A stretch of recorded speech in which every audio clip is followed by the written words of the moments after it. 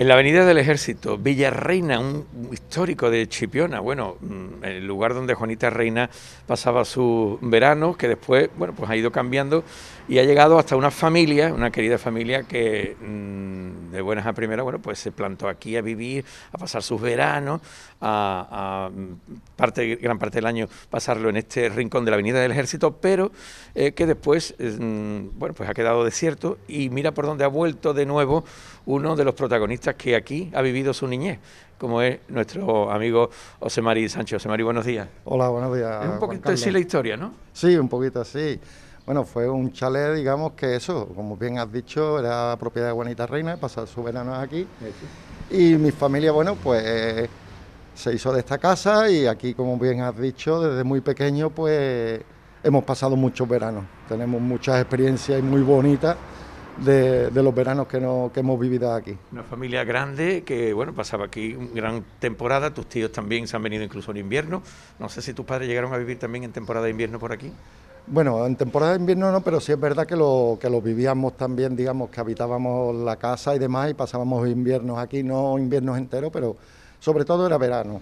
Los veranos era lo que mayormente estábamos siempre correteando por aquí. Yo recuerdo, yo recuerdo este chalet porque claro, sus primos son eh, primos míos y la verdad es que recuerdo de haber jugado aquí muchísimo en ese amplio salón, en estos, en estas terrazas de detrás, en estos patios. Bueno, la verdad es que es un, chalet maravilloso y con mucha historia. Y nos hemos acercado aquí, bueno, para antes que nada dar un poco la introducción de lo que es este lugar que estamos realizando la entrevista, pero porque José María ha tenido el detalle de hacer un árbol de Navidad con nacimiento, que lo vamos a ver ahora, y que tiene una peculiaridad, yo creo que, bueno, muy, muy, muy original y que no sé de dónde ha venido la, idea, porque vosotros sois muy de Navidad, ¿no? Sí, nosotros somos muy de Navidad y de, y de decorar todo lo que podemos, ¿no? La suerte es de, de estar aquí habitando esta casa y que nos da esa oportunidad también de, con tanta superficie, bueno, poder hacer más de lo que habitualmente cuando se vive en un piso, se vive en, otra, en otro tipo de vivienda.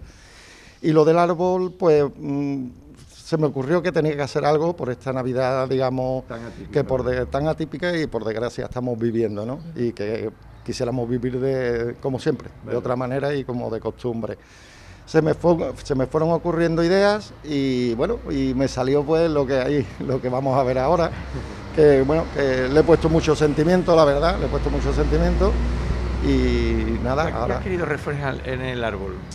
Pues sencillamente lo que te he comentado, eh, la Navidad que por desgracia estamos viviendo y que quisiéramos vivir, eh, digamos, y también pues el conjunto en sí es eh, la bola del mundo, ¿no? Abierta, y el Belén dentro. De alguna forma, con eso he querido decir que, bueno, exponer la Navidad que llevamos dentro, la Navidad interior que hubiésemos querido vivir de alguna forma, ¿no? U otra. Lo que es el árbol de espina y el árbol seco, eh, pues simboliza un poco lo que es la pandemia, ¿no? Que, que, rodea a todo el mundo, ¿no? Que nos tiene en estos momentos como nos tiene. Después puse. sí, las bolitas blancas. Las bolitas blancas son con lazos negros por, las almas. Son 17 bolas blancas por cada comunidad autónoma, ¿eh? una por cada comunidad autónoma. Y los lazos negros, evidentemente, pues en memoria de fallecidos y fallecidas de, cada comunidad autónoma. Y bueno, después sobre el tronco, pues como veréis, hay una enredadera ¿eh? en color púrpura que, digamos, simboliza lo que es la esperanza, ¿no? La cura. Van haciendo desde abajo y llegando a lo que es el, mundo, ¿no? Lo que es el mundo que a ver si por fin llegamos a ver la luz, como dirían algunos, ¿no? Que parece que sí, pero a ver, a ver. Eh, sí es verdad que quiero recalcar que, al igual que los lazos, la enredadera la he querido dedicar a los sanitarios sobre todo, ¿eh? a todos los sanitarios y profesionales de la sanidad. ¿eh? que son los que en verdad pueden estar ahí en primera, en primera línea de batalla, pues luchando y ayudando a todo aquel que, por desgracia eh, estaba ingresado o tenía que, depender de ellos. Eh, después has puesto un, texto, en un escrito ahí. Sí, he puesto un texto sobre otro, pues, sobre otra rama, he puesto un texto explicándolo porque sí es verdad, bueno, que separa mucha gente, bueno, y el que ve el árbol de alguna forma se queda un poco como diciendo esto, esto qué es, ¿no? y bueno, y vi oportuno de poner poner un cartel de explicando un poquito eso, lo que acabo de comentar y lo que quiere decir en definitiva todo el conjunto. Bueno, después aparte de eso, que aquí se detiene mucha gente, y si no párense cuando pasen por la avenida del Ejército, aquí en el chalet de Juanita Reina, frente al edificio Virgen del Rocío, lo van a poder ver en el atardecer o en la noche, ¿eh? Eh, una decoración fantástica, preciosa que has puesto con todos tus detalles navideños y con la iluminación que también pues luce bastante en este chalet. ¿Todo esto lo has hecho tú solo, José María? No, no, por supuestísimo. Esto todo mm, de momento lo que lo que es la idea principal de, cómo qué íbamos a hacer y qué no de, de mi mujer. Y por supuesto con, no con la ayuda, sino yo la ayudaba a ella. Hay que felicitarla a ella porque tiene una mano de decoración espectacular, así que felicidades por la decoración tan bonita que nos has puesto en un chalet, en un lugar como es la Avenida del Ejército, que no es muy dado a, la decoración navideña, quizás en el interior de las casas sí, pero así en el exterior tenemos aquí a nuestra izquierda donde estamos alguna casa que sí, que luce con, muchas luces, nunca mejor dicho, valga la redundancia, en la noche, pero no es un... ¿Tú, tú cómo notas Chipiona en Navidad? ¿Se prodiga poco quizás en esto, María? Yo es que creo que eso puede influir mucho el que sea, digamos, un pueblo mm, de, verano, digamos, y de gente de fuera, ¿no? Eso influye mucho. Pero bueno, sí, sí es verdad que se ven, se ven casitas y demás decoradas, ¿no? pero yo creo que realmente es por ese motivo. Por el que no se ve más es porque, bueno, son, son viviendas que las disfruta la familia pues en verano, como segundas viviendas y viviendas de, de recreo, por decirlo de alguna forma. José María es, eh, pertenece al Parque de Bomberos del aeropuerto de Sevilla, ¿no? Efectivamente, estoy yo de bombero en, el aeropuerto de Sevilla. ¿Y vas y vienes cada vez que te toca? Sí, cada vez que tengo servicio, pues voy, y hago el servicio, son 21 horas bueno, una paliza tener que ir y venir tanto de Sevilla a Chipiona, ¿no? Tú estabas acostumbrado de pequeño, pero ahora... No me, cuesta, no me cuesta, vamos, no me cuesta, pero más que nada por la vuelta, como yo suelo decirle a los compañeros, cuando llego a trabajar, digo, estoy deseando de volver al paraíso, porque para mí, como yo le llamo a Chipiona, para, mí ahora mismo es, mi paraíso, ¿no? Estoy súper feliz. Tú te has ubicado aquí, te has encontrado a gusto, eh, mm, no cambia Chipiona ahora por nada del mundo, ¿no? Por supuestísimo, que no lo cambia. ¿Qué le ves a Chipiona que para llamarlo el paraíso, José María. Eh, el paraíso, bueno, por su entorno, evidentemente, lo principal es su entorno, ese precioso faro que tenemos, ¿no?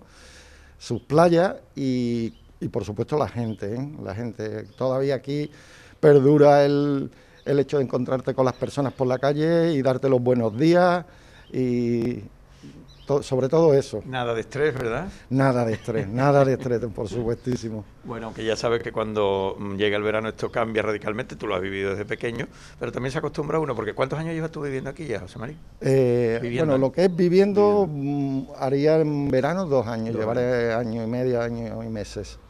Eh, por circunstancias, bueno, pues de estar veraneando a poder tener la oportunidad de afincarme, como bien has dicho antes, y, vivir aquí, ¿no? Empadronarme incluso, ya me considero un chipionero más.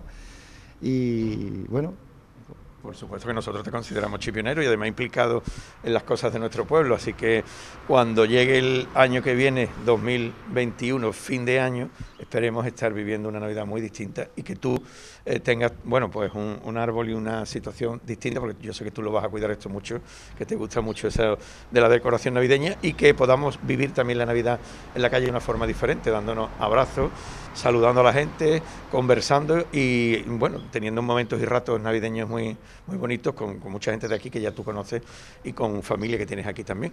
Así que, José María, muchas gracias por abrirnos las puertas de tu chalet y, felicidades por, ese buen trabajo y ese detallazo que has tenido. Por nada, muchas gracias a vosotros. Quería añadir una cosita que independientemente de, digamos, de ese reconocimiento a los profesionales y demás, también se lo quiero dedicar de alguna forma a la ciudadanía, porque de alguna forma también hemos sido partícipes en la defensa, digamos, y en la protección de, de los demás, ¿no?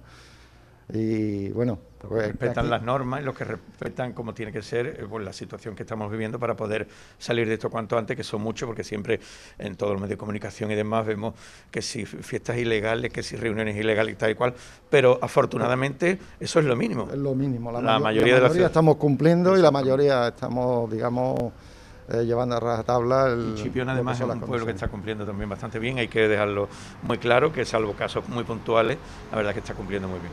Por supuestísimo, ya te digo, igual que la ciudadanía, los trabajadores, bien has dicho Chipiona, eh, agradecerle a los, a los tractores cuando fumigan, eh, que ponen en manos del ayuntamiento y a predisposición del ayuntamiento sus tractores. En fin, yo creo que, que Chipiona y la ciudadanía chipiona eh, ha cumplido con creces, ¿vale? Ha cumplido con creces y se Pues está tomando esto en serio como, como hay que hacerlo. José Mari, que tengas un feliz año gracias. tú, toda tu familia y que nos encontremos, como hemos dicho, el año que viene por aquí de nuevo, pero grabando otro árbol. Pues muy bien, pues muchas gracias. El árbol de la vida. año, el árbol de la vida. Yo le he llamado el, el árbol de, del recuerdo y la esperanza. Del recuerdo por, la, por los fallecidos y la esperanza, bueno, pues por esa cura y por esa. Por, por si salimos ya de una vez por todas de esto, ¿no? Que ya tenemos. Que así sea, José de muchas gracias. Muchas gracias, Carlos.